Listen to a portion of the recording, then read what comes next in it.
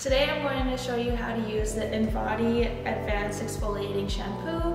So you're going to want to start by fully saturating the hair with water, then you're going to apply a small amount of shampoo into your hands, emulsify the product, and scrub your scalp.